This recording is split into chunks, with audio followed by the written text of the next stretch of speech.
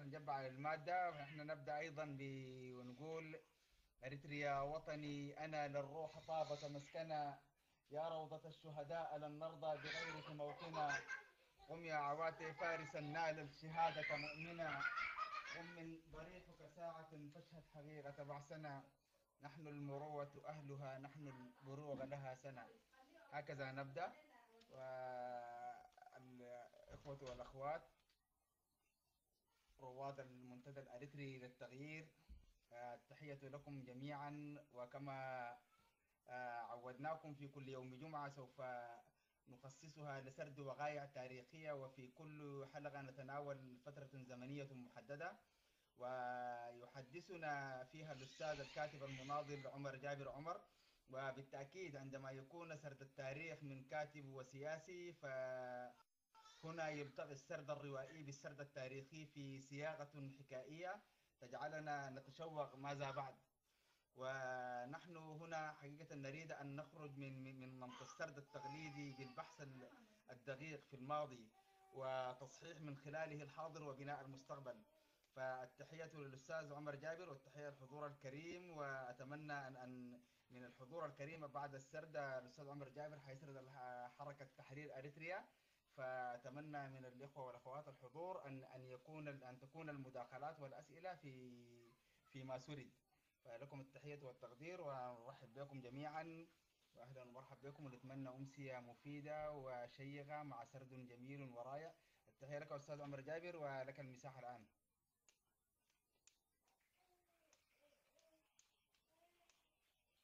أستاذ عمر جابر لو سامعني يا ريت تاخذ المايك. أيوه شكرا جزيلا. إذا مسموع دون واحد واحد عشان نبدأ.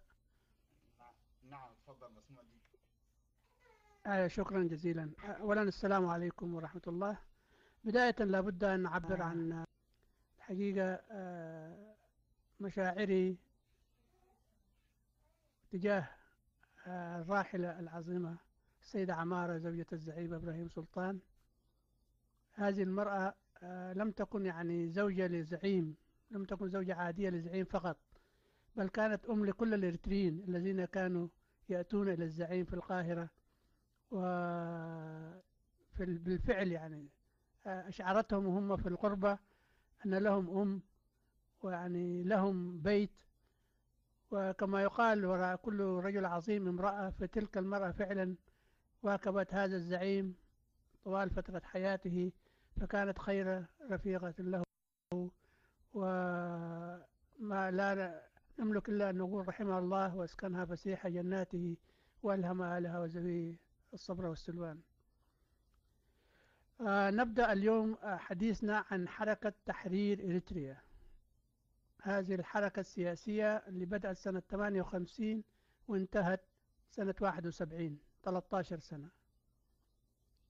آه قبل ما أدخل في الموضوع أحب بعض الملاحظات الحقيقة عشان تكون في ذهننا طوال لقاءاتنا القادمة أيضا يعني.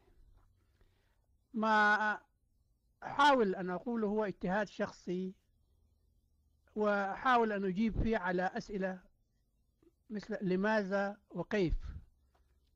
ليس حول وقوع الحدث في حد ذاته ولكن لماذا حدث بتلك الصورة. وكيف حدث. بعض المواقف وبعض الأحداث قد لا أملك عليها دليلا أو وثيقة ولكن هناك قرائن وبعضها عايشته. وإذا كان أي واحد من الأخوة المستمعين أو الآن أو لاحقا يملك وثيقة أو دليل يثبت عكس ما أنا اجتهدت فيه سأكون سعيد أنا بأن أزيد معرفتي وأن أتعلم كل يوم يعني من الآخرين. فلا أملك لا أدعي امتلاك الحقيقة لوحدي ولكن كما يقال بالفعل أعلم الناس وكل الناس. الملاحظة الثانية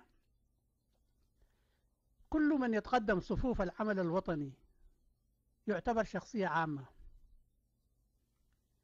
لذا إذا تناولنا شخص معين في مرحلة معينة لا يعني ذلك استهداف شخصي أو تحليل آه، تحليل ذلك الشخص. بالعكس إذا كان قد نجح في مهمته فيكون قدوة للآخرين وإذا كان قد فشل يكون درس لمن بعده. ويكفي ذلك الشخص العام المبادر أنه اجتهد وتقدم الصفوف وذلك يحسب في بالتأكيد في سجله يعني.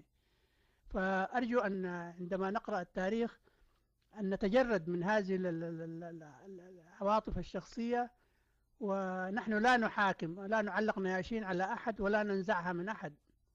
لكن نحاول أن نفهم أن نصل إلى فهم مشترك. لماذا حدث ذلك بالطريقة التي حدث بها؟ الملاحظة الثالثة آه، أرجو أن نحن الآن الموضوع بتاعنا هو اليوم حول حركة تحرير إريتريا فالمداخلات والأسئلة تكون محصورة في هذا. حتى نستطيع أن نلملم الموضوع ونفهمه فهم جيد. وإلا إذا تخطينا إلى مراحل لاحقة قد نسبب نوع من الإرباك وعدم التجانس في الطرح يعني أو في الفهم يعني. دي الملاحظات اللي حبيت آه، أسجلها آه، بداية آه، قبل ما أبدأ الموضوع. والموضوع هو باختصار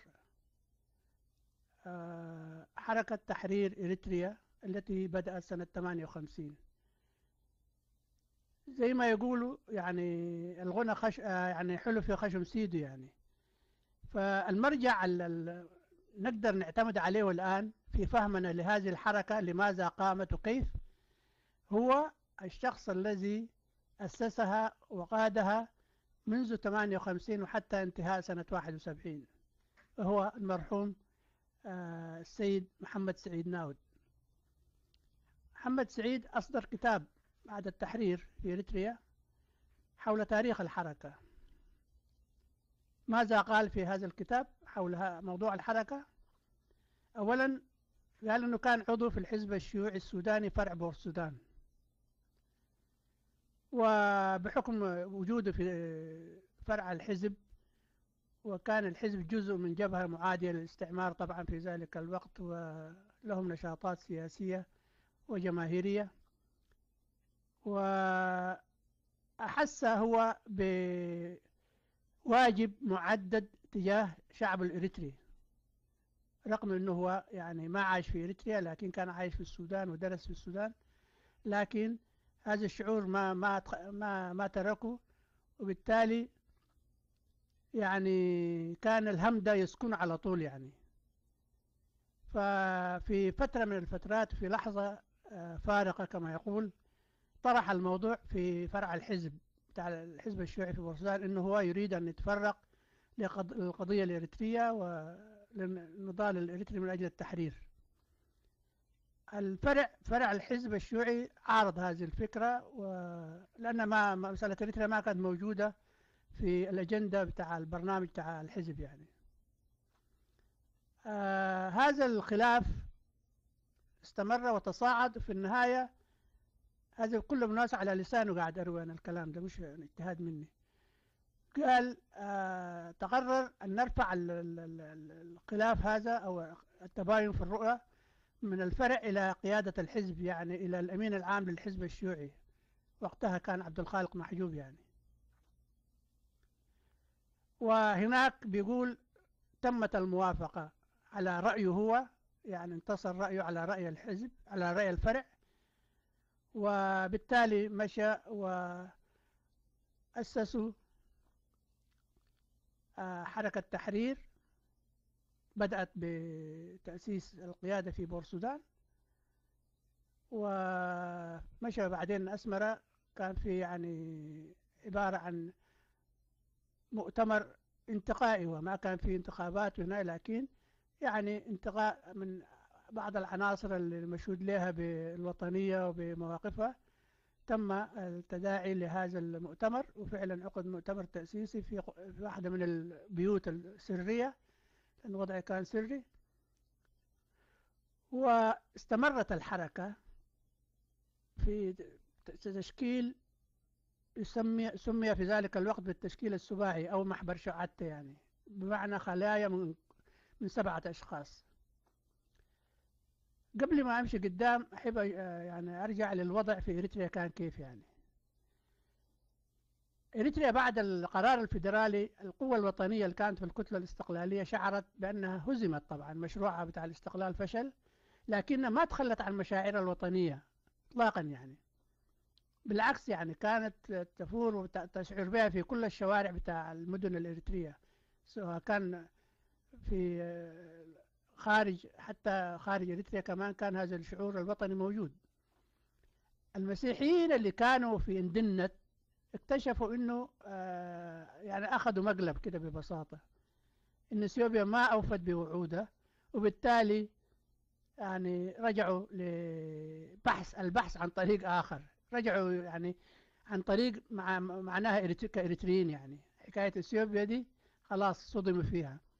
هذا الوضع كان مشتعل. قامت مظاهرات عمالية في أسمرة قامت مظاهرات طلابية في أسمرة وكرن هذه ما حرك أي حزب سياسي كانت تلقائية وطنية من كل الفئات. في هذا المناخ نشأت الحركة. لذلك كان يعني عبارة عن إذا أشعلت عوستقاب كما يقال في القيامة تشتعل يعني.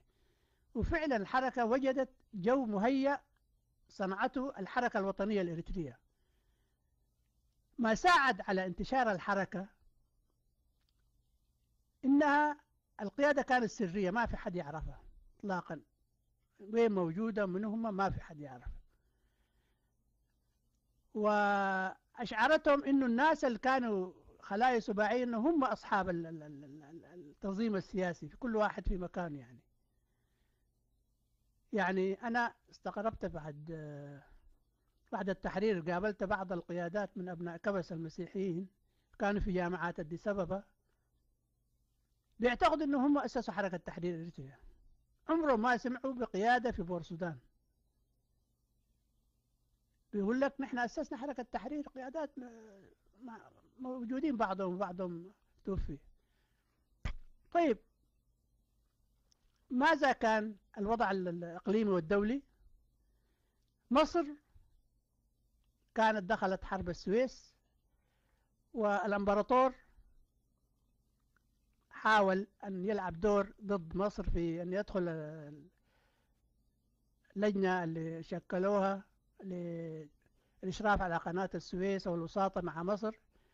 ومصر هددت طبعا وعملت ركن إذاعي وفي النهاية عملوا صفقة مع أهل سلاس لكن موقفهم من أهل سلاس ما كان يعني مريح. الاتحاد السوفيتي كان طلع كقوة جديدة في بعد الحرب العالمية الثانية وأصبح ينافس الولايات المتحدة الأمريكية. الولايات المتحدة الأمريكية أخذت قاعدة أمريكية في أسمرة.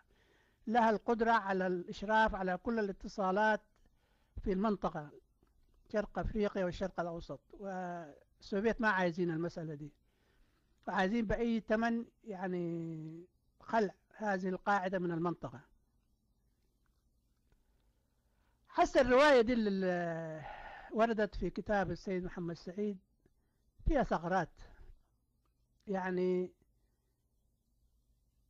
لأول وهلة وقت نسمعها ما بعرف. أنا يعني وقتها صراحة كنت بدرس في بورسودان الثانوية. وبعرف كثير من الوقائع والمشاهد العملية قدامي حصلت. ومتابع أيضا أخبار المنطقة السياسية. فبدأت أفكر في في الرواية في في يعني الحركة دي كيف تأسست. عشان أوضح الصورة ليه يعني أنا كنت أتشكك في هذه الرواية. لو جينا بعدين معلش أنقل نموذج من جبهة التحرير. حامد عواتي وقت طلع كان عمره فوق الأربعين سنة. رجل يعني من في المنطقة معروف مشهود له مواقفه وعلاقاته الاجتماعية وماخذ تدريب دورات أمنية ورجل يعني مقاتل معروف يعني ويشار إليه بالبنان. إذا ما كان قريب شخص زي ده يطلع ويقود كفاح مسلح. في القاهرة الدائرة الثانية بتاع الجبهة وقد بدأت كان هناك إدريس محمد آدم رئيس البرلمان الإريتري. معناها أعلى منصب تشريعي في البلد عارف البلد وتركيبتها وكل حاجة. ومعاه طلاب كلهم في مستوى جامعة وأقلهم في المدرسة الثانوية. أنا وقت شفت الحركة يعني بس خلونا مقارنة تاريخية قيادة الحركة مسعود على حسب كلامه وعلى حسب تسجيله هو في الكتاب مولود سنة 38 1938 يعني الحركة 58 معناه عمره 20 سنة كان. معناه فكر في التنظيم ده 18 19 سنة. بعدين أنا كنت موجود هو شغال كان في التلغراف الإنجليزي. هو درس المرحلة المتوسطة في بورسلون الناس اللي حوله في القيادة كلهم أعرفهم شخصيا. يعني كل جمعة أنا كنت أطلع من الداخلية وكنا نقيل سوا وبالاسم أعرفهم وعلاقات اجتماعية عندنا. ما كانوا أفضل من محمد سعيد في المستوى. طيب يعني ما زي ما يقول المسألة كده ما ركبت راسي أنا. وبعدين ما يعرفوا إريتريا يعني. ما فيهم واحد عايش جوا إريتريا كمان عشان نقول يعني. لكن ممكن كان يمشي بين حين وآخر بفترات متباعدة. أنا ما ما اقتنعت الصراحة بالرواية دي يعني أو بالمفهوم ده. لتأسيس الحركة. لكن كنت أفتش على آه، قرائن وأدلة كده تقنعني وتجزم أو تؤكد يعني ما ذهبت إليه. المسألة اللي خلتني فعلا بعدين أتأكد وتزيد من شكوكي موقف الحزب الشيوعي السوداني. أنا في السودان ما كنت ما كنت يعني عضو في أي حزب لكن كنت أطلع على أدبيات الحزب الشيوعي الإخوان المسلمين كل القوى السياسية اللي كانت تنشر بقرأ لها كنت. فبعرف آه، يعني أدبيات الحزب الشيوعي السوداني وبعرف لائحته الداخلية حتى. وشفت اللائحة الداخلية بتاع الحركة يعني إذا ما أقول تطابق تشابه عجيب يعني بين الاثنين. بس بدل السودان إريتريا يعني. معلش قلت يمكن ده نوع من الايه يعني محمد سعيد باعتبار عضو الحزب الشيوعي ثقافته هي دي وتعليمه فلا بد أن يتأثر. يعني ممكن هذا المنطق يكون لكن بعدين استمر الوضع في موقف الحزب الشيوعي. قدر ما وقت قامت جبهة التحرير الإريترية وقيادات الجبهة تحاول تجتمع مع الحزب الشيوعي والحزب الشيوعي رفض رفض تام إنه يتنازل من الحركة. بالعكس يحاول دائما الجبهة يقول لهم تنضموا للحركة. ما قدرت أفهم الموقف ده. يعني بس بعدين الناس اللي كانوا يفاوضوا من الجبهة في إدريس محمد آدم عثمان سب إدريس قلايدوس الزين ياسين يعني ناس يعني في مستوياتهم ومعلوماتهم بالتأكيد يعني يقدروا يعني لكن لا الحزب الشيوعي كان مصر على الحركة. يعني حتى بعد ما تراجعت الحركة جماهيريا وإعلاميا وإلى آخره برضو تمسك بها. مش كده وبس. يعني حصل موقف قريب يعني. سنة 65 الجبهة كانت تجيب أسلحة من سوريا من العراق وكده عبر البحر. وفي شحنة كانت شحنة أسلحة بالمراكب جابها كان مشرف عليها رمضان قبري. وتم دفنها في منطقة بالقرب من سواكن. بعد أسبوعين أو كده رسل طبعا الجبهة ترسل قوة آه، قوة حماية قوة نقل يعني للمنطقة يعني. وبالفعل مشت القوة للأسف ما وجدت الأسلحة اختفت. فقيادة الجبهة وقتها كان شهيد عثمان سبي موجود في كسلة هو عضو المجلس الأعلى. يعني تقرر أنه الناس تستر الخبر يعني لأنه جبهة أسلحتها تضيع وكده شوية. من ناحية معنوية ما كانت ملائمة. بعد أقل من شهر من هذا الحادث طلعت مجموعة باسم حركة تحرير إريتريا بسلاحها في الساحل في منطقة اسمها مساعدة بالتأكيد قيادة الجبهة تلقائيا توصلت إلى أن هذه الأسلحة هي أسلحة الجبهة. أنا وقتها كنت عضو في القيادة الثورية واجتمعنا في كسلة. مع الشهيد عثمان سبه وأصدر قرار مباشر. قال لابد من تصفية العناصر واسترداد الأسلحة بتاع التنظيم. وبالفعل تم تصفية المجموعة والأسلحة تم الاستيلاء عليها تم تصويرها وصور رسلوها للقيادة الثورية في كسلة اجتمعنا مرة ثانية ونادينا رمضان قبره وعرضنا عليه الصور. المفاجأة كانت أنه قال هذه ليس أسلحة الجبهة. وبالفعل يعني الناس احتارت. طيب من من من سرق الأسلحة بتاع الجبهة؟ لكن السؤال الأهم كان الحركة جابت الأسلحة من وين؟ إذا دي ما إذا هي ما أخذت أسلحة الجبهة. المهم تم الاتفاق إنه ما يش... ما يطلع الخبر ده. شهيد سب قال سيظل الموضوع كما كان إنه الجبهة قامت بالعملية لاسترداد أسلحتها يعني. لكن إحنا تتبعنا وتغصينا مصادر التسليح للحركة فاكتشفنا أن الأسلحة جات من جنوب السودان اشتراها الحزب الشيوعي السوداني. وكانت مفاجأة غريبة يعني. ده يرجعنا يعني لبرنامج الحركة.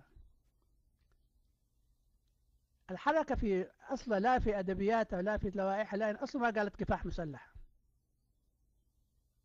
ما ذكرت أصلا حتى الوسيلة. لكن وقت الناس تجندت كانت مستعدة تلقائيا كانوا يقولوا عايزين نعمل انقلاب البوليس أصلا مسلح يعني انقلاب داخلي. أو بالطرق السلمية كانوا يقولوا في البداية بعدين قالوا بالإنقلاب من خلال الشرطة. لكن وقت الجبهة أخذت المواقع الميدانية والناس التفوا حوله دخلت المنافسة لانتزاع القواعد يعني. ما كانت تؤمن بالكفاح المسلح أصلا. وللأسف الناس طلعوهم عرفهم أنا جزء منهم. خسارة يعني ما كانوا مدربين ولا إحنا شبه مدنيين. لكن كانت تحاول إثبات وجودها. طبعا الرواية دي أنا بقراها بالعكس. الرواية الرواية اللي رواها الأخ محمد سعيد في كتابه بمعنى بتاع الحزب الشيوعي. وهذا من معرفتي زي ما قلت الحزب الشيوعي السوداني ونظامه وكده. يعني. أنا ما أؤمن ولا أعتقد أنه عضو عادي في فرع عادي في السودان. يعني من الفروع العادية كان في الحزب الشيوعي الفروع الرئيسية كانت عطبرة وخرطوم ومدرمان فعضو في فرع عادي إذا عايز يستقيل ويمشي يعني بلده يناضل ما في زول يمنعه يعني يقدم استقالته. ما, ما بعرف أنا إيه إيه الخلاف اللي عمله مع الفرع عشان يصعد لمن الأمين العام. ومين الأمين العام وقتها؟ الناس اللي ما تعرف عبد الخالق محجوب. ده وزراء سودانيين كانوا ينتظروا أيام عشان ياخذوا موعد معاه يعني. فما معقول عضو عادي آه يعني يقدر يقابل عبد الخالق كده بقضية فرعية في بورسودان أنا الرواية دي ما مقنعة بالنسبة لي. فأعتقد الحصل هو العكس. كيف؟ زي ما قلنا السوفيت كان وضعهم شنو أهدافهم. عايزين يزحزحوا الأرض من تحت هيل سلاسل فك الارتباط مع أمريكا وتفكيك القيادة أو القاعدة العسكرية في أسمرة. فاعتمد طبعا على الحزب الشيوعي السوداني حليفه وأكثر حزب يمكن من أحزاب الشيوعية العربية قريب كان من السوفيت. إنه ينظموا حركة إريترية جماهيرية لهذا الغرض. ومصر طبعا أصبحت حليفة للسوفيت أيضا يستخدموها في هذا الاتجاه لأن مصر أصلا عندها مشكلة مع اثيوبيا فاللي حصل إنه القيادة بتاع الحزب الشيوعي هي اللي استدعت محمد سعيد لسبب هو ما كان يعرفه لأنه راصدينهم هو هو يعني في فروعهم وكده. فنادوه في نائب قابل عضو مكتب سياسي اسمه محمد سليمان. وقالوا له هذا ال ال ال أنا حس الآن لا أجزم. إذا كان هم وروا محمد سعيد مخططهم كان شنو؟ مخطط السوفيت. لكن بت... آه، محمد سعيد كمان ما وضح المسألة دي. وما أعتقد يمكن وما ضروري كان يوروه يعني. لأنه كان عارفين الوضع في داخل إريتريا يغلي وكده ومتابعين المظاهرات والإضرابات. ففي في جو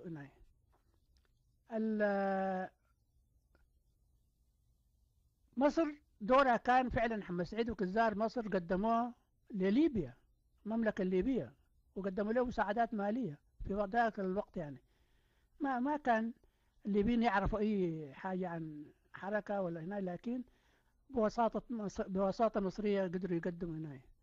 أيضا جندوا بعض الناس للحركة أو زي ولد أب ولد مريم اللي كان موجود في القاهرة يعني. فالمصريين كانوا برضو يشكلوا نوع من الحماية لارتيجة لتحالفهم مع السوفيت. القيادة اللي شكلت في بورسودان زي ما قلت أنا بعرفهم واحد قيادة محلية وكلهم يعني عشان للتاريخ كمان كلهم مسلمين. وكلهم من إقليم تقريبا واحد يعني. المسيحيين الإريتريين ما كانوا يعرفوا القيادة دي ولو عرفوها ما أعتقد كانوا يتجندوا عشان نكون واضحين وصادقين مع أنفسنا. لا, لا يمكن كان يقبل. عشان كده أنا قلت قد قابلت الناس ديل كانوا يعتقدوا أنهم هم أسسوا حركة التحرير ما ما يعرفوا ما سمعوا بها ذات قيادة بورسودان دي. طيب الحركة فعلا انتشرت زي ما قلنا نتيجة للظروف الموضوعية اللي كانت تساعدها في داخل إريتريا. ناس جاهزة عايزة تتجند. لكن وقت طالت المسألة سنة 59 60 وهنا ما في حاجة وكل يوم يقول لهم في النهاية قال لهم أيوة خلاص دخلنا أسلحة. دخلوا رشاش واحد يلفوا به من نقفة لكرن لهنا عشان يوروا الناس السلاح يفتر يعني يفرتكوا القطعة دي ويوروها في اجتماعات. الشعب الإريتري كان واعي يعني خاصة معظم المجندين كانوا بوليس وناي شافوا الشغلة دي ما ما ما ماشية وما صحيحة يعني. رصاصة الرحمة زي ما يقولوا الناس جاءت عن طريق حامد عواته اليوم اللي طلع حامد عواته كل شعب إريتريا في الداخل لفة من الحركة بدون إنذار بدون أي حاجة. وهذه القصة أنا عايشتها من كنت زي ما قلت أدرس في بورسودان في الإجازة المدرسية قررت أرجع إريتريا طبعا قريتي. وأخذت رسالة من القيادة بتاع الحركة. قلت لهم عايز أعرف ناس الحركة من هناك يعني. ومشيت فعلا. كان في واحد مندوب في كسلة شيخ شريف اسمه. ودخلنا القرية. على قدر قريتي. وأعرف طبعا الشخص اللي أدوني له رسالة تربطني بها علاقة اجتماعية. وقلت له أنا جايب رسالة وكده وين ناس الحركة؟ قلت له. والله قال لي ما في حركة غير أنا قال لي في القرية كلها. ليه؟ قلت له قال لي كلهم مع عواته يعني وقتها ما كان جبهة التحرير عشان يقولوا جبهة التحرير. يعرفوا عواتي بس. طيب مشيت أسمرة كنت هناك قابلت مناضل سيد أحمد أحمد هاشم يعني طال الله في عمره كان خرج من السجن وقال لي أنا كنت حاولت أناقشه وأقنعه بالحركة قال لي حركة شنو؟ قال لي يا أخي الراجل ده طلع حسه شايل سلاح وما عنده لا حماية ولا مؤن ولا على الأقل ساعدوه بحاجة لو أنتم ناس يعني تعملوا من أجل تحرير إريتريا بصراحة ما لقيت حركة يعني. في إريتريا رجعت بورسودان و التقيت بالقيادة وقدمت تقرير. قلت لهم والله حركة ما موجودة داخل إريتريا. الناس كلها مع عواته. فإذا أنتم صحيح يعني جادين في مسألة التحرير دي يعني يعني لازم تتصلوا بعواته وتصلوا معاه إلى رؤية مشتركة واتفاق. الرد المباشر اللي رداه الأخ محمد سعيد. أذكره حتى اليوم قال أولا حامد عواتة طلع بدون إذننا وبدون تخطيط وأفسد علينا تخطيطاتنا. وعلى كل حال حنتصل به ونعالج أمره. هذا الكلام العام كيف يعالج أمره وإيش اللي أفسده؟ أنا الحقيقة استغ... ما ما دخلت في تفاصيل.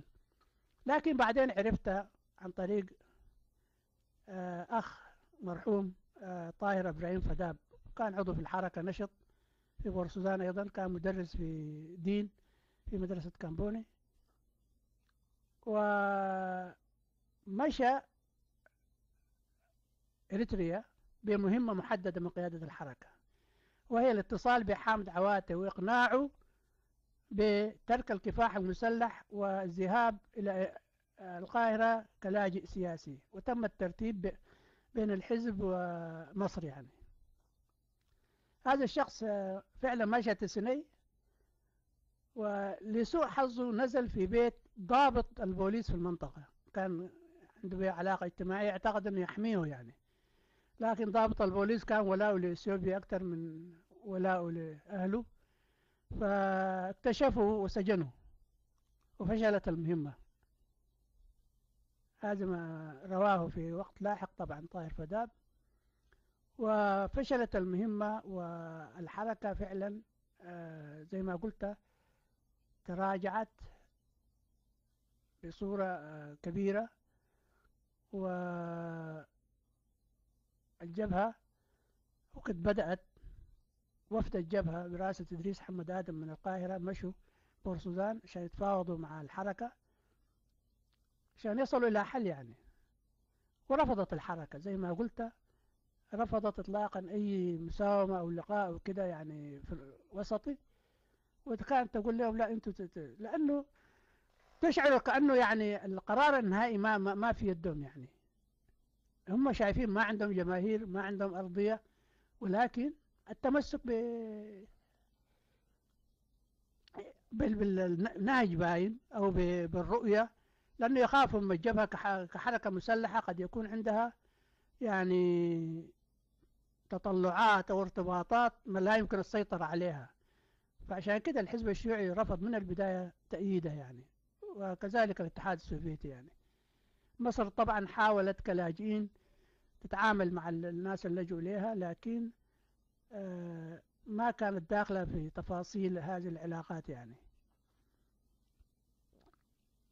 نرجع ونقول الحركة الشعب الإريتري اللي تجند فيها كان يبحث عن حرية تامة تحرير كل إريتريا. لا عنده علم بمخطط سوفيتي ولا حزب الشيوعي السوداني.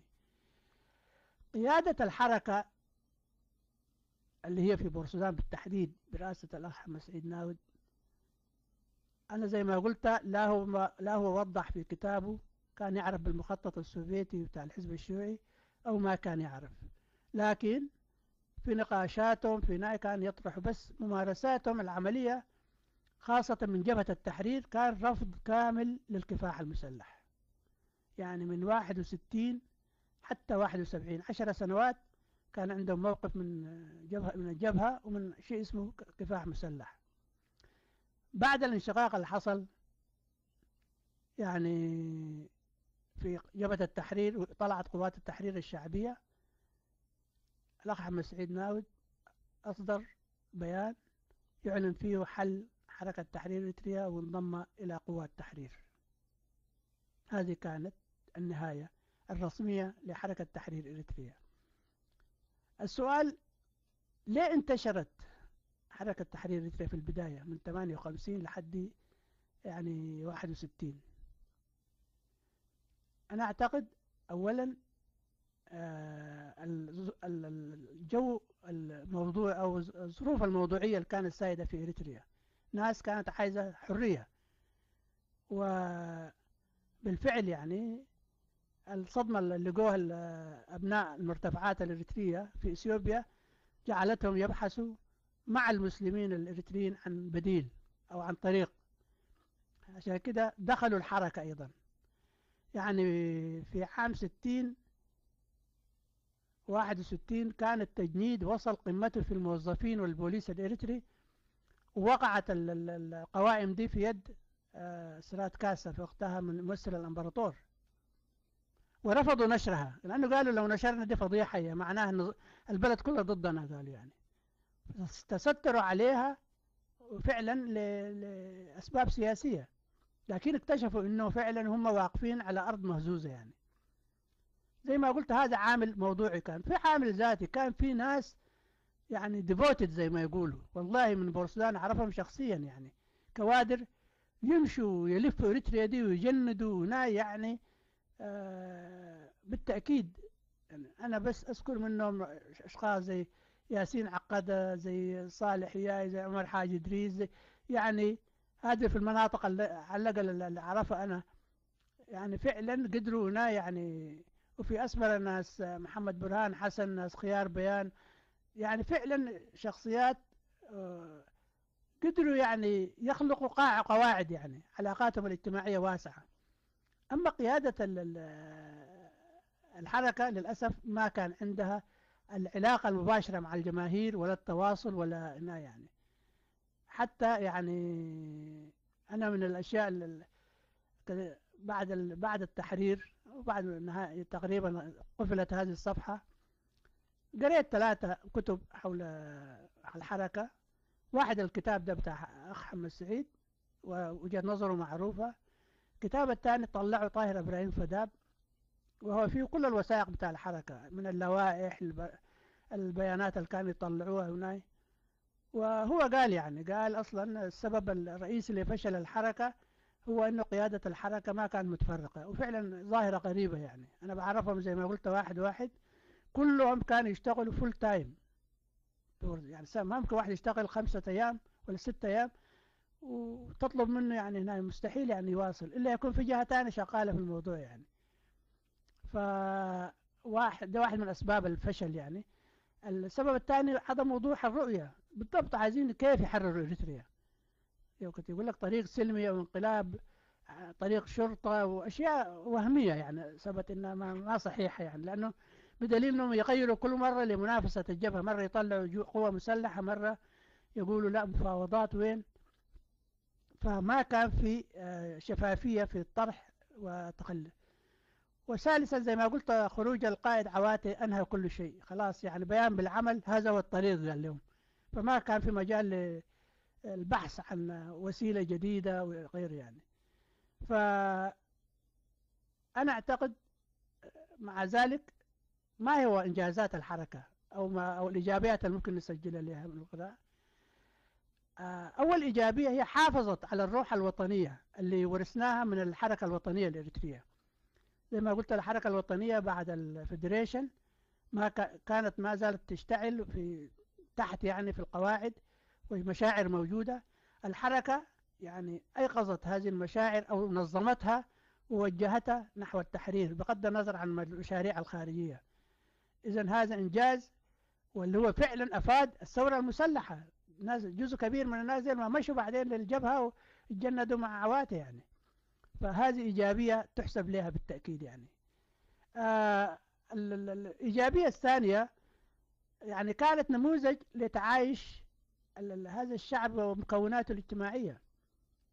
يعني الحركة زي ما قلت ضمت في في تركيباتها في خلاياها مسيحيين ومسلمين. صحيح المسيحيين ما كانوا يعرفوا من هي القيادة ولا المسلمين كانوا يعرفوا الحقيقة لكن وده يمكن من من فوائد القيادة السرية لكن بالتأكيد عندها أيضا سلبيات يعني. فمشوا مع بعض مسافة يعني. بعد ذاك أمور موضوع تاني في الجبهة نشوفه حصل كيف.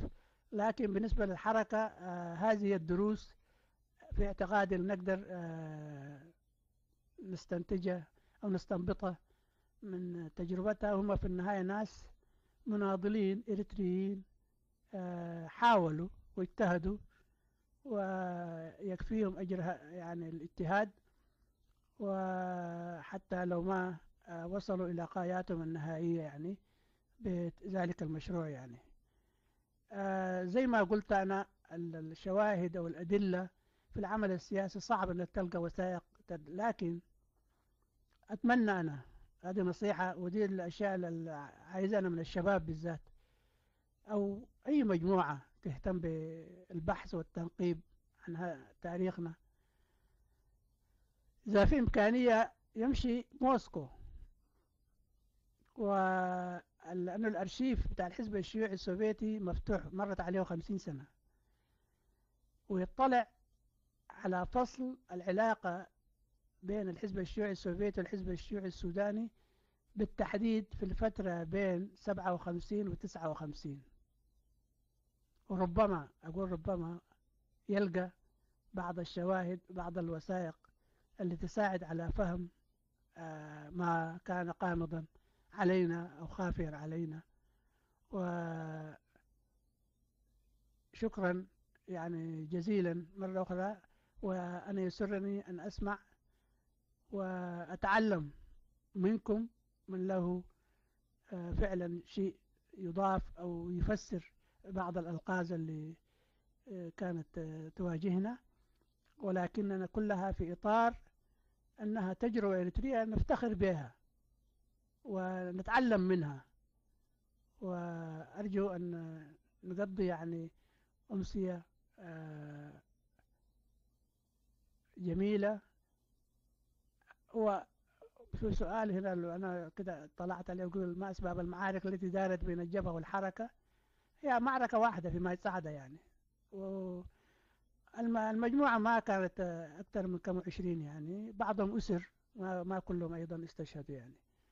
بعد ذاك ما, ما كان في معارك بين جبهة وحركة أصلا لأن الحركة ما طلعت سلاح. آه شكرا جزيلا وأنا فنتمنى أنه نقضي أمسية يعني حكاية صفيناهم دي وصفونا طبعا ضمن سلبيات الثورة ككل يعني محسوبة حنجيها في مراحل لاحقة لكن آه، أرجو أنه يعني نناقش بفهم وعمق وبحث جدي عن الحقيقة مش يعني تسجيل نقاط زي ما يقولوا يعني. نحاول نبحث مع بعض عن الحقيقة. وشكرا جزيلا يعني. برا جيت فما أعرف. على كل شكرا جزيلا أستاذ عمر وأتمنى برضه إنه مرة أخرى الأخوة الحضور بإنه حقيقة يجب أن تكون المداخلة في في فيما سرد. يعني أنا ال الأشياء الجانبية وهنا فمن حق أي إنسان إنه يشكر ويقدم تحية ويقدم تحية للحضور يقدم تحية للأستاذ عمر جابر لا حرج في ذلك. لكن يجب ان ان ان أن يخش في الموضوع طوال يعني إنه في في إحنا بنسرد حركة تحرير أريتريا. فالمسائل الجانبية صراحة غير إنه بتسوقنا للخلف ما قاعد تقدم لنا شيء يعني. فيجب أن نرتقي لمسألة الحوار. فالآن إحنا طرحنا موضوع فالتنويه الكثير صراحة غير حميد في حقنا وفي حق الحضور يعني بشكل عام. فلذلك أنوه يعني إنه إحنا تكلمنا عن حركة تحرير أريتريا فيجب أن يكون التساؤل في في هذا الإطار.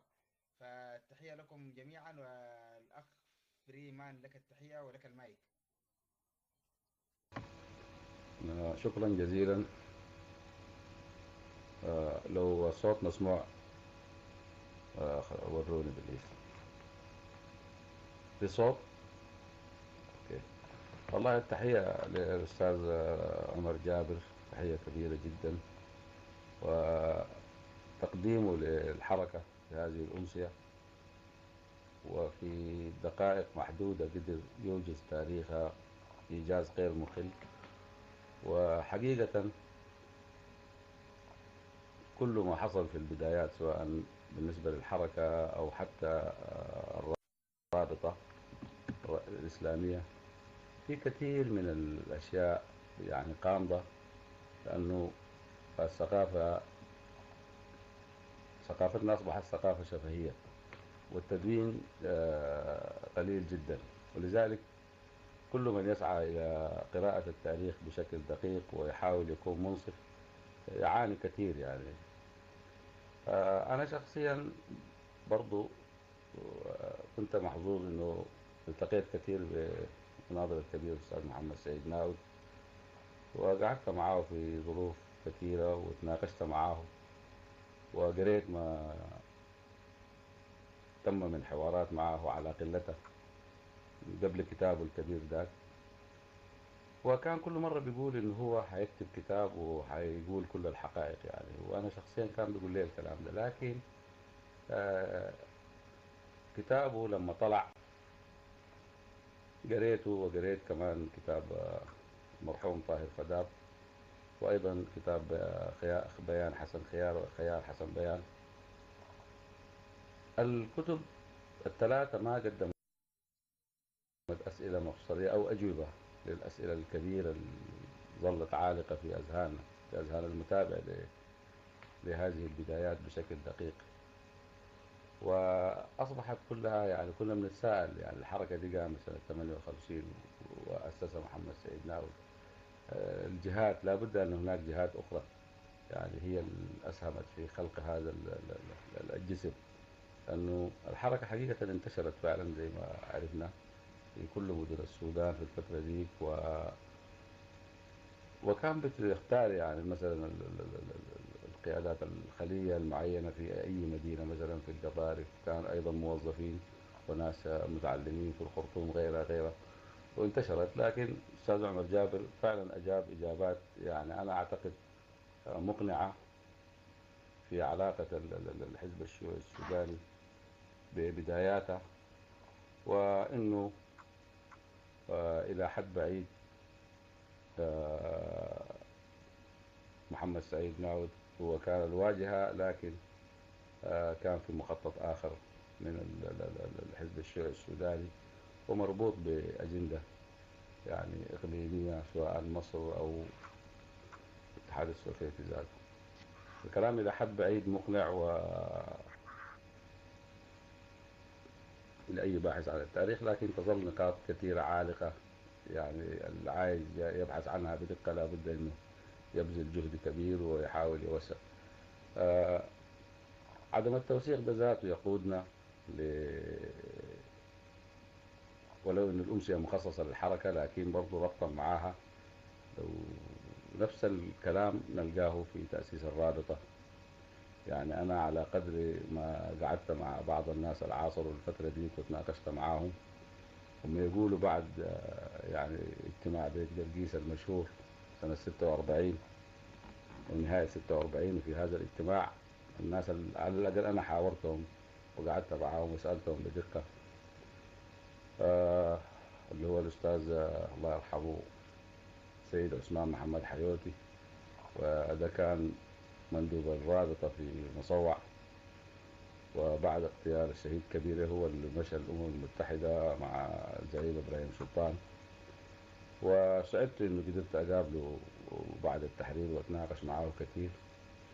وأيضا شخص آخر كان أزماج محمود نور حسين وده كان آه، ناشط في الرابطة وكان في جريدتهم صوت الرابطة الإسلامية في أسمرة. أيضا وجدته وتناقشت معه كثير. والاثنين أكدوا إن هم لما مشوا اجتماع بيت قرقيس آه، فوجئوا بالنوايا الانضمامية لكثير من ال- النخب في ال- في المرتفعات. وبيقولوا هم فجأة جاتهم دعوة من كرن لتأسيس لحضور الاجتماع التأسيسي للرابطة. حتى هم بيقولوا ما كانوا مشاركين في فكرة التأسيس والبدايات. ولذلك تظل هنا أيضا نقاط عايمة في من أسس هذه الرابطة هل أسسوها برضو بنفس القدر المراغنة كامتداد لهم في أريتريا وكده؟ فدي بس ال- النقاط اللي تحتاج إلى بحث يعني. أيضا يعني بنفس التحليل المنطقي فتشنا عن الأحزاب الوطنية أو الحزب الوطني في أريتريا بمعناه هل هو فعلا حزب حب الوطن أو جمعية حب الوطن؟ محضر فقر هجر ولا هو الرابطة الإسلامية كما أنا أعتقد وأؤمن. لأن كل المعطيات بتقول إنه جمعية حب الوطن أو تحولت إلى حزب ال- الانضمام إلى إثيوبيا أو الوحدة مع إثيوبيا. وكانت الكلمة يعني حب الوطن هذا الوطن كان هلامي وكان المقصود به حب إثيوبيا وليس أريتريا كما أكدوا أيضا كثير من الناس. الأكد لي أنه التاريخ الآن بيكتب بواسطة آه، العرابين بتاع الجبهة الشعبية واللي أصدروه مثلا على شكل كتاب آه، ألم سجد وغيره. في اعتماد على روايات لأشخاص معينين تنسجم مع رؤاهم هم. لكن أبدا ما في آه، مساحة في هذه الكتيبات الصدرت لآراء أخرى تناوبهم يعني. فده كله في النهاية بيقودنا يعني إحنا ما ننتقص من قدر من كتبوا أيا كانت آه، نواياهم. لكن ده كله يقودنا إلى أنه لابد أن نوثق إذا أردنا أن نؤسس لتاريخ حقيقي ودقيق. وأنا أعتقد آه، الأستاذ عمر جابر في هذه الأمسية آه، كان رائع في طرحه وقدر يختصر لنا ويختزل لنا تجربة ثرية وهامة جدا وبشكل موضوعي كبير. آه، لا يسعني إلا أن أشكره وأشد على يده في أنه يحاول أن يبحث ويكتب وأيضا الآخرين اللي عندهم قدرة في أن يبحثوا ويبعدوا عن الحلول الجاهزة ويحاول أن يحددوا لحد ما نصل إلى الحقيقة التي هي ضالة كل مؤمن. شكرا لكم جميعا وشكرا مجددا للأستاذ عمر جابر على هذه الأمسية الطيبة شكرا شكرا شكرا جزيلا أستاذ فريمان لك التحيه ولك التقدير وشكرا لكل الحضور آه ممكن آه قبل ما ناخذ الاستاذ عمر جابر أحب أيضا نذكر وانوه بأن هنالك أمسية تقييمية للحراك الشبابي الأريتري وذلك في يوم السبت 22 من هذا الشهر 12 وفي تمام الساعة التاسعة بتوقيت برلين. فبالتأكيد مشاركاتكم وحضوركم وإسهاماتكم فمن خلالها نستطيع أن أن نغرب بين وجهات النظر وأن نسعى بشكل جاد إلى عملية التغيير. فلكم التحية والتقدير مرة أخرى. آه، الأستاذ عمر جابر هل تاخذ المايك تعقب على آه، كلام الأستاذ فريمان والأخ أحمد؟ ومن ثم نأخذ الأخ عادل. أستاذ عمر جابر لو سامع يا ريت تأخذ المايك أيوة شكرا شكرا جزيلا. آه، أولا أشكر الأخ على اللي حاول هو يصحح ما ما هو صحيح يعني. أنا ما يعني ما أعتبر الأخ والأب كلها يعني تسميات بتاع آه، عناية يعني تشعرك أنك قريب من الإنسان اللي يطلقها فلا قضاض في ذلك يا أخي يعني وأشكرك جزيلا على كل حال.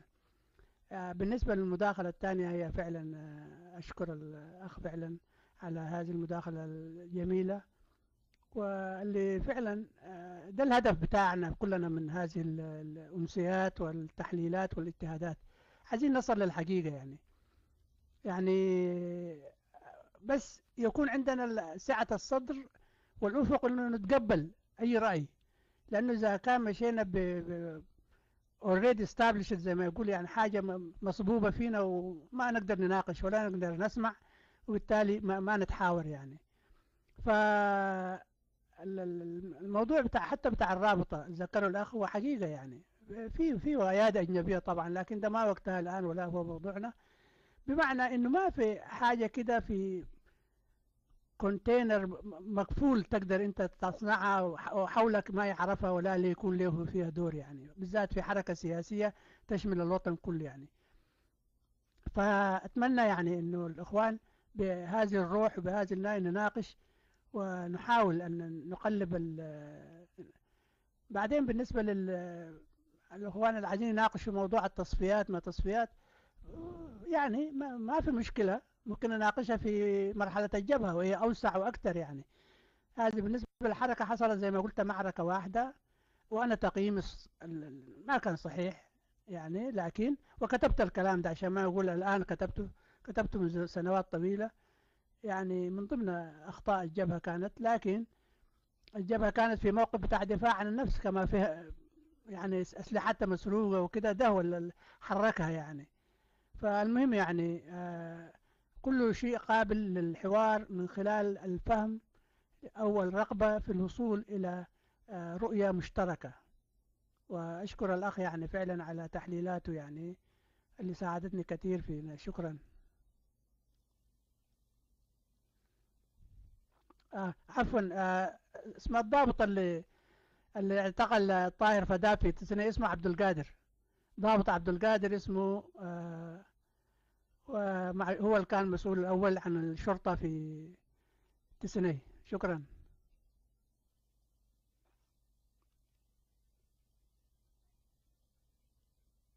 شكرا جزيلا أستاذ عمر. آه، حقيقة ال- الآن تقريبا كان رافع يده أردوغان فإذا لكم تساؤلات أو عندكم أي مداخلة فمن حقكم الآن ال- ال- المساحة لكم. فبرضه نوه إنه في بعض الأسئلة الآن أيضا أحد الأخوة بيسأل عن اسم الضابط والأستاذ عمر أجاب عليه. فلو في أي إشكالية أيضا في في المايك أو إنسان عنده أي مشكلة في إنه ما ما, ما يستطيع أن يتحدث فإذا كان السؤال سؤال في في في في في نفس الموضوع فأعتقد لا حرج يعني. فلذلك لا إشكالية في إنه الواحد ممكن يوجه سؤاله كتابة إذا له أي ظرف من الظروف يمنع من أن أن أن يتحدث في المايك. فلكن لا بد أن يكون السؤال في تلك المرحلة هي مرحلة يتحدث فيها الأستاذ عمرو جابر. الأخ عادل لا اطول عليك عشان بتنزل يدك ثاني فأديك المايك.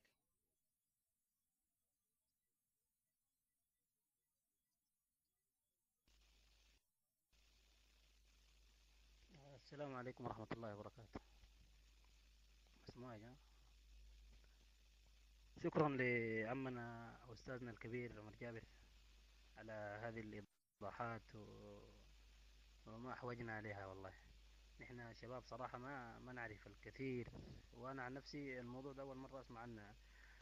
لكن آه، اللي دعاني لأن أرفع يدي ما ما لكثرة علم وخفايا أو أو شيء من هذا القبيل. لكن لاحظت يعني من خلال الكلام لاحظت أشياء كذا هي اللي خلتني أرفع يدي. أول شيء كلمة السؤال اللي سألت عنه في التكست هو مسألة تصفيات. أنت بررت عنها وجاوبتها قلت أنا جاوب عنها في بعدين وكانت في مرحلة الجبهة أكثر وما أدري لا هذه أولى يعني. هذه أول تصفية تقريبا كانت بدأت. وكيف صدر القرار بالتصفية؟ وهل كان التصفيات تصدر كده بس يعني؟ وبعدين قلت إنه السلاح طلع ما هو نفس السلاح. والآن برضه قبل شوية قلت الأسلحة كانت دفاع عن النفس يعني أسلحتنا مسروقة وهذا دفاع عن النفس. هل أسلحتك مسروقة؟ هذا يساوي دفاع عن النفس؟ يعني دفاع عن النفس؟ ما دفاع عن النفس. آه المهم ما علينا وده ما الموضوع اللي أنا أساسا يعني رافع يدي عشانه. آه المعلومات التاريخية كلها ما ما عندنا في شك فيها ولا لكن استنتاجات الأستاذ الكلام اللي قال هو استنتاج يعني قلت يا أستاذ عمر. أنا ما صراحة استنتاجات لم تعجبني يعني. ولاحظت تناقض واضح في كلامك. آه تناقض في نقطة واحدة عشان ما أطول الكلام أنا سجلت أشياء كثيرة لكن النقطة الواحدة يمكن أذكرها لك. أنت قلت في البداية إنه الجبهة آه الحركة كانت آه، أشياء مجموعة محلية من أشخاص محليين لا يعرفهم آه، باقي الإريتريين وتحديدا حددت المسيحيين لا يعرفونهم.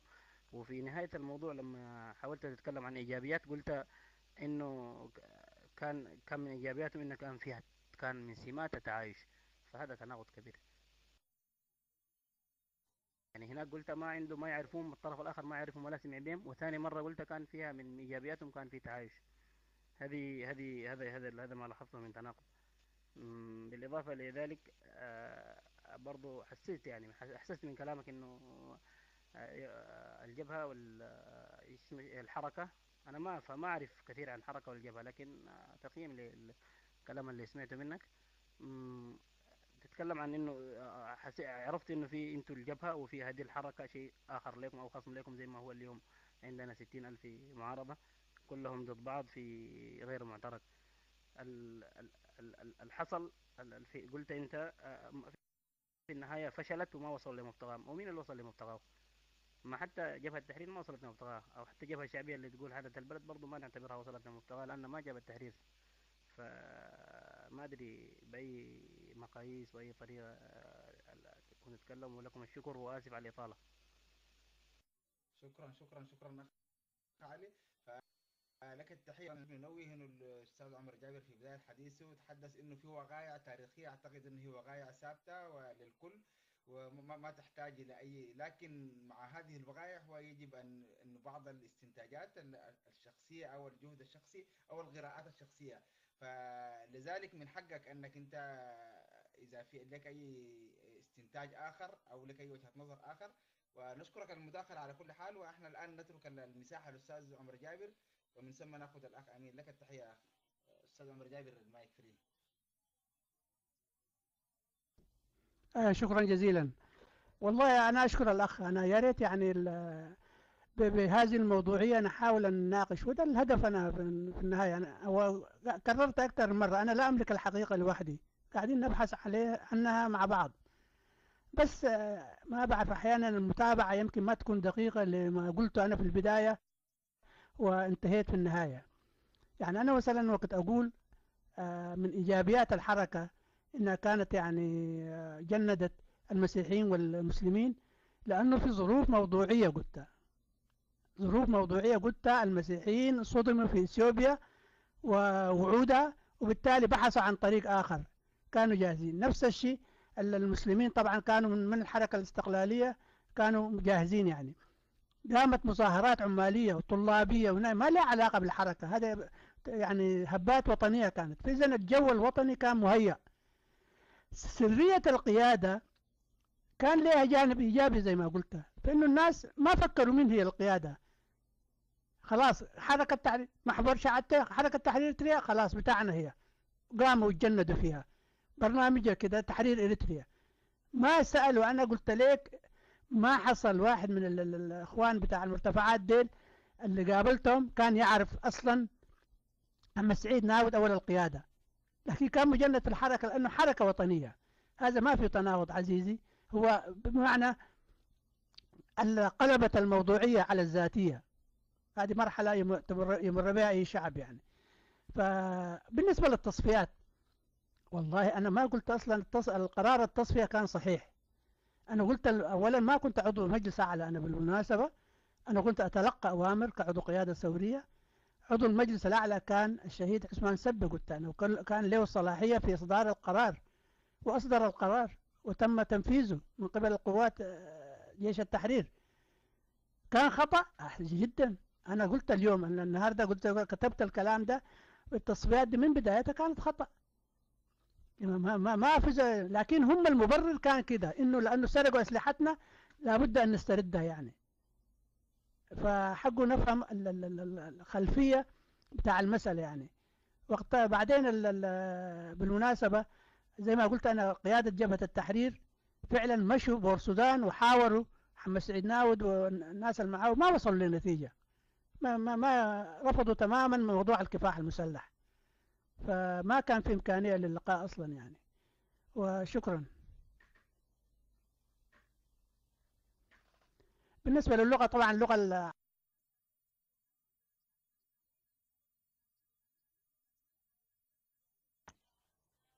نعم شكرا شكرا جزيلا أستاذ عمر التأمين تقريبا لك المايك أخي الكريم لك المايك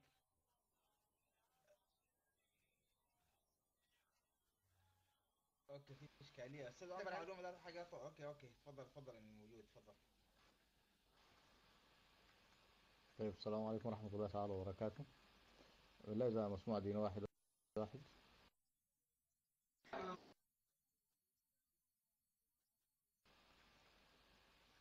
الديني واحد واحد مسموع. أولا مساء الخير ل... لكل الشباب. آه، وأخص آه، بالتحية الأستاذ آه، المناضل عمر جابر. هذا الرجل آه، آه، المؤرخ حقيقة يعني يفيدنا بكثير من مداخلاته وامسياته وبكثير من محاضراته التي يلقيها وكتاباته التي تتميز بالصدق والتجرد. وبهذا الكلام لا أعني به مدحا بقدر ما هو ذكر للحقيقة حقيقة يعني آه، يشكر الأستاذ على هذا الإيجاز وهذا التناول يعني بهذه الصورة الموجزة الغير مخلة لهذا التاريخ الكبير والهام من آه، تاريخ آه، حركتنا الوطنية بشكل عام. وهذه النقاط التاريخية والإضاءات التي حتما يعني ستفيد الكثيرين في تناول القضايا. والإجابة على كثير من الأسئلة.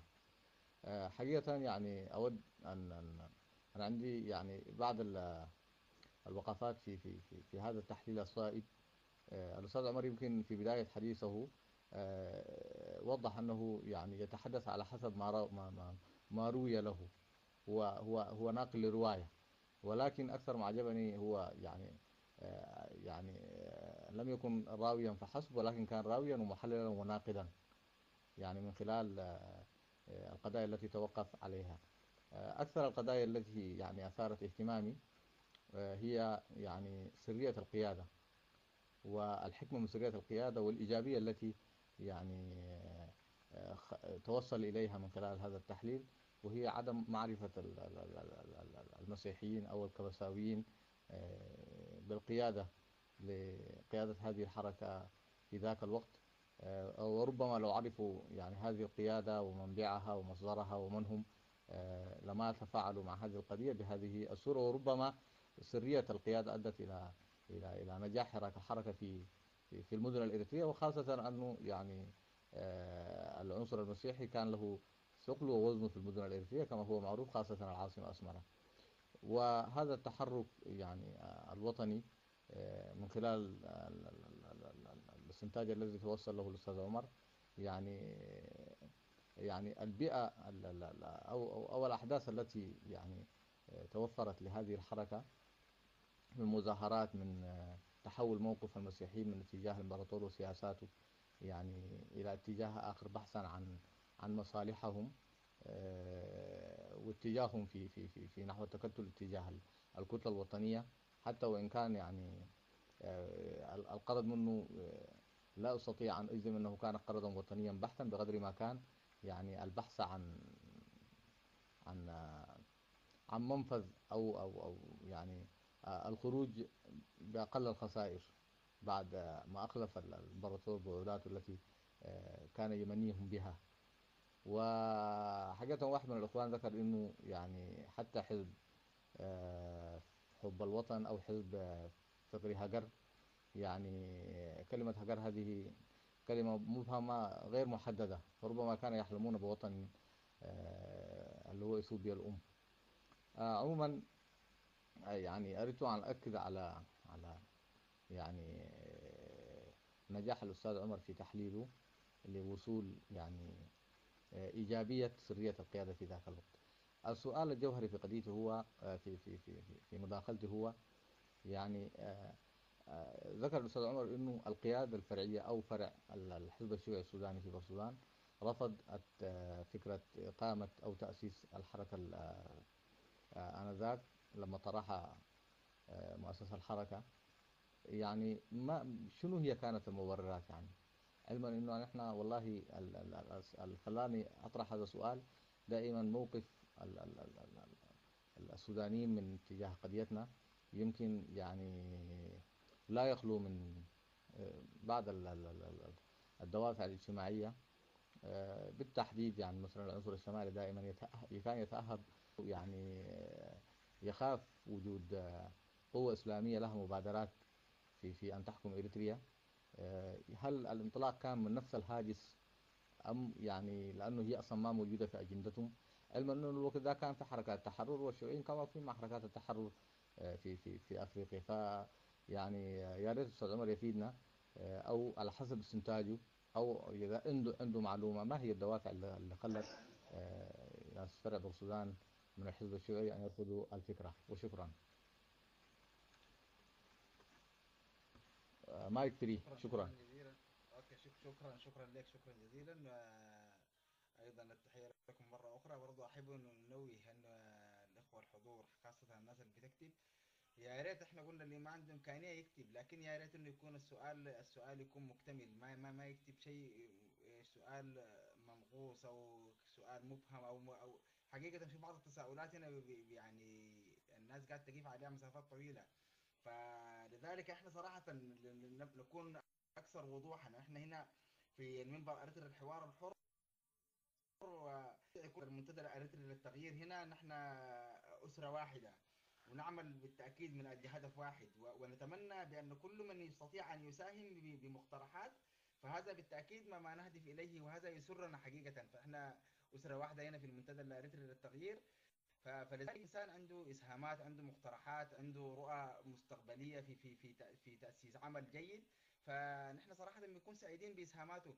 لكن الشيء صراحة اللي بيحزننا وبيأسفنا لدرجة صراحة ما يتخيلوها إنه بيكون في بعض ال ال الأشياء اللي ما معروفة يعني ما ما ما, ما, ما القصد بالتأكيد ما معروف منه شنو يعني. إحنا صراحة بت- بنحسن الظن في, في كل الناس فلكن يجب أن يكون التساؤل واضح يعني عشان الناس ما تنزعج بحاجات الناس بتكتبها يجب أن يكون وإحنا تكلمنا الآن الأستاذ عمر جاير بيتكلم عن حركة تحرير أريتريا فلذلك يتوفى منه وقتلوا منه هنا فدي بتجي يعني إحنا عندنا سلسلة بتاعت لقاءات تاريخية في كل يوم جمعة.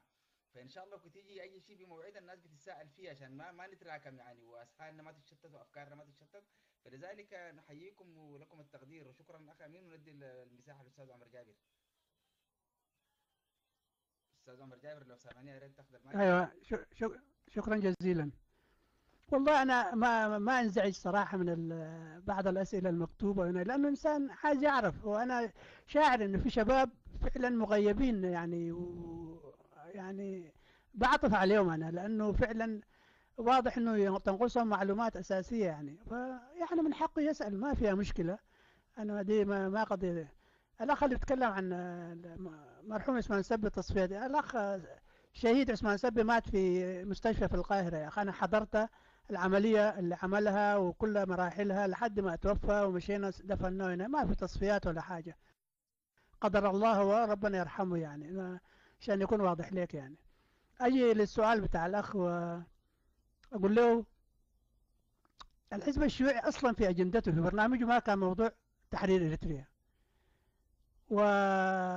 وبالتالي يعني أنت تعرف الاحزاب الشيوعية من فوق لتحت أوامر وتوجيهات ما قابلة لل فلو صحيح يعني آه، الأخ محمد سعيد طرح الموضوع ده حيكون خرج عن ال- الأجندة خرج عن البرنامج بتاع الحزب. بالتالي ما يتفقوا معاه لكن أنا ما قبلت الرواية دي لأنه كان ممكن يستقيل من الحزب من بور سودان. يعني ما في داعي يمشي الخ- الخرطوم أصلا ولا يقابل عضو مكتب سياسي ليه.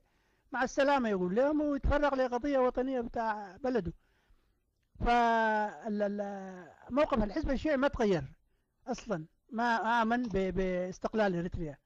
حتى في مراحل لاحقة وقد كنا نلتقي به هو يعني أو هو ذاته كان في وضع يرثى له لكن ما ما كان كده شاد حيله في مسألة استقلال اريتريا لكن كمناضلين المهم كان يستقبلنا وكده. فما كان كان جزء من السياسة السوفيتية. لأنه بعد ما جو ناس منقستو وبقوا حلفاء للاتحاد السوفيتي آه، ال- ال- السياسة بتاع الأحزاب الشيوعية العربية كلها تغيرت. كلهم بدأوا يقولوا مركز الثورة انتقل إلى أديس أبابا. يا إريتريين يا سوار شوفوا لكم طريقة يعني عديل كده. فهذه القضايا ويمكن الثورة الإريترية ميزتها إنها فعلا تحدت هذا الموقف السوفيتي وأتباعه وتحدت الموقف الأمريكي وأتباعه يعني قوتين دوليتين واجهتهم الثورة الإريترية. وكان يمكن أن تحاصر لكن كتب عليها النجاح فعلا لأسباب الآن مش وقتها يعني. فهذا ال- ال- الكلام واضح يعني ما ال- الحزب الشيوعي ما عنده أصلا موقف واضح ومعلن في تأييد حق تقرير المصير للشعب الإريتري يعني. لا لا في المراحل الأولى بتاعنا ولا في المراحل اللاحقة يعني. وشكرا.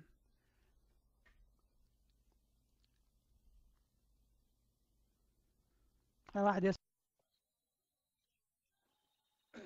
شكرا شكرا شكرا شكرا جزيلا أستاذ عمر. آه، قال لك المايك.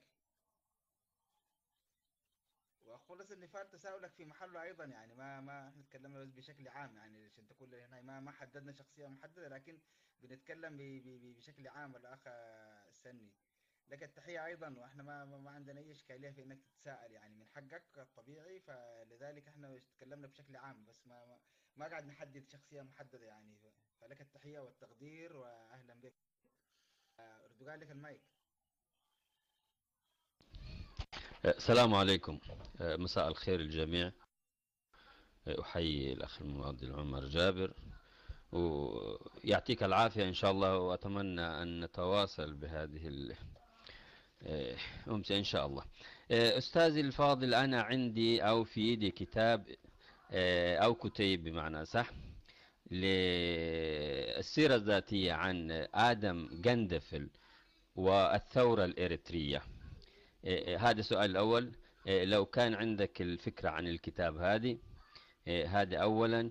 إيه، وبعدين في هذه الكتاب عندي سؤال إيه، عندي أقتبس منه. إيه، بيقول في أوائل عام 1961 حضر الشيخ إدريس محمد آدم من مصر وألتقينا به في كسلة وسألناه عن نشاط الحركة أي حركة التحرير الإريترية وهل هو ملتزم بها؟ وكلنا وكنا لا ندري بوجود تنظيم آخر غير هذه الحركة. كانت الإجابة الشيخ إدريس لنا أنه لم يلتزم بحركة التحرير الإريترية أبدا وإنما هو ملتزم بجبهة التحرير الإريترية التي كونها التي كونها طلاب في القاهرة وكان على وكان على رأسها المناضل الشهيد سعيد حسين. آه، آه، هذه الأشكالية هذا التنظيمين أو هذه الحركتين يعني في أنهم الأول ولا الثاني ولا ما أعرف لو تشرح لي عليها شوية. آه، بالنسبة للكتاب هل عندك فكرة عليها أو سمعت عنه ال- الكت- الكتيب هذه إذا ما عندك أنا مستعد. ممكن أبعث لك ولا لو عرفت عنوانك وشكرا يا أستاذ الفاضل شكرا شكرا جزيلا اردوغان ندي الفرصة للأستاذ عمر جابر أيضا في آه، الاخ مصطفى ياسين. حقيقة في بعض التساؤلات من مصطفى تقريبا ومن من آخرين آه، بي- بيسألوا هل داير يتعرف عن خلفية اعتناق ال- القيادات ال- الأولى للفكر الشيوعي. فأعتقد انه هذا التساؤل آه، ذكر أكثر من كذا مرة ويجب أيضا الاستاذ عمر جابر يا ريت لو تقيف عنده بعد بعد ما تتناول آه، جزئية اللي تحدث فيها الأخ أردوغان. لك التحية ولك المايك أستاذ عمر آه شكرا جزيلا. معلش أنا السؤال بتاع حكاية تناقل القيادات الأولى الفكرة شوية ده حأجله وكان نجي جبهة التحرير. فصل كامل أو ليلة كاملة في عن حزب العمل الإريتري. كيف قام وليه قام فأنا قاعد أقول ما نحرق المراحل يعني لو سمحتوا يعني. آه، لأنه كده إجابة حسه أنا قد لا تشفي يعني لكن كل هذا حيجي. آه الأخ ذكر كتاب آه، المناضل آدم قندفل. بعرف الكتاب وبعرف آدم شخصيا من فترة طويلة طبعا في النضال. والحصل فعلا إنه الجنود ال- ال- الإريتريين في الجيش السوداني كانوا حركة ما أنا قلت الحركة جندت الناس كلها. تاريخيا الجبهة جات بعدين يا جماعة.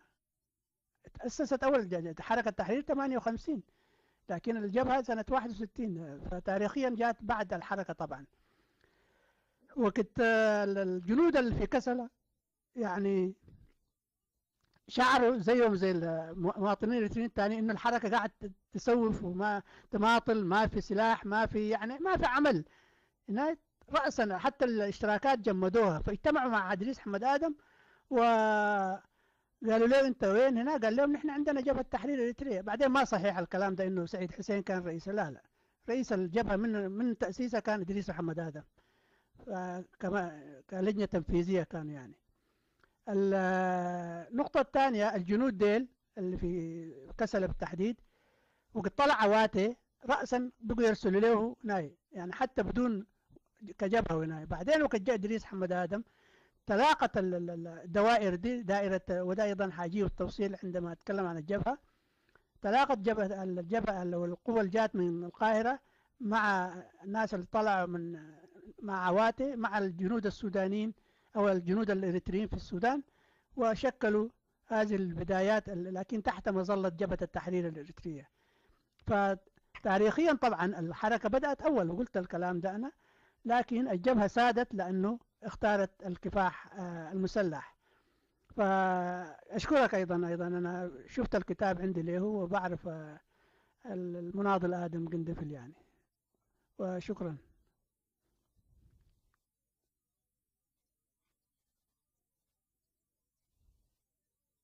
جزيلا الاستاذ عمر اخت آه، okay تقريبا عندك اشكاليه في المايك يا ريت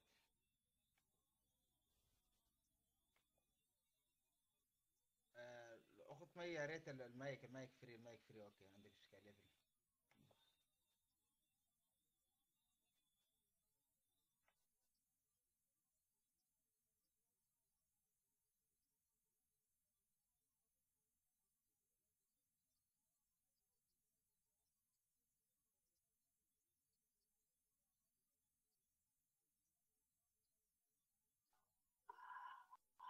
مساء الخير على الجميع.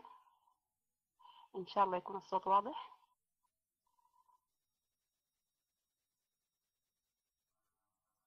طيب. آه السلام عليكم ورحمة الله وبركاته. آه التحية للأستاذ عمر جابر آه للجهد فعلا المبذول يعني. آه ولهذا ال- الإيضاح والتوضيح عن بدايات الثورة وبدايات آه، حركة التحرير ال- الإريترية. آه، أنا عايزة أقول إني أنا فعلا برضو مع مع تحليل الأستاذ يعني آه، نسبة لل للزمن يعني والفترة الأولى في الخمسينيات تقريبا آه، ما في تعليم ما في وعي ما في كذا. فكوني أطلع يعني سياسي وشيوعي وكذا فأكيد يعني آه، يعني وراها الكثير يعني. فأنا عايزة أقول إنه الحزب السوداني أو الحزب الشيوعي السوداني ما سمح ب- آه، بتكوين يعني حزب شيوعي إريتري يعني مماثل أو يعني محاذي له في في المسار. وكان تقريبا تعامل فردي. وحتى لو لو كان إنه حيكونوا حزب الشيوعي الإريتري كان حيكون تابع للسودان ومن ثم للاتحاد السوفيتي يعني أو لروسيا. فالشاهد هنا ال- الجهد كان فردي. والهدف طبعا ما كان تحرير تحرير إريتريا بأول كفاح المسلح زي ما ذكر الأستاذ وإن لأنه هم في البداية قالوا إنهم حركة سلمية وبمجهود سلمي بكذا هم حي- حيغيروا النظام و... و... وإلى الآخر. ف...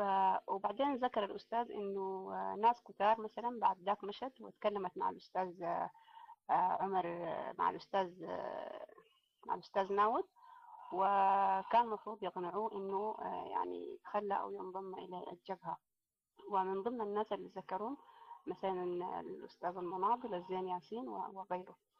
أنا السؤال عندي مع إنه هو قال يعني في كلام حنأجله للمرة الجاية بس عايزة أقول إنه الفترة واللي هو ما ذكر حزب العمل أو بشكل عام اتجاه الشيوعي مرة ثانية في الجبهة.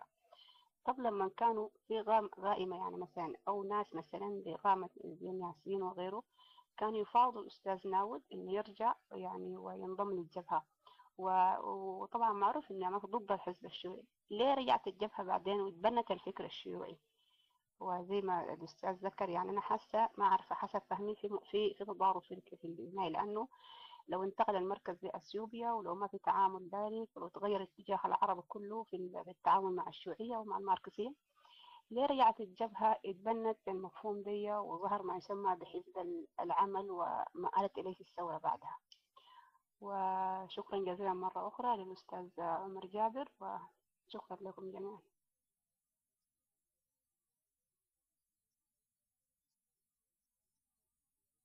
آه، شكرا شكرا جزيلا اخت مي لك التحية. آه، أستاذ عمر يا ريت آه، تاخذ ال- المايك أستاذ عمر شكرا جزيلا.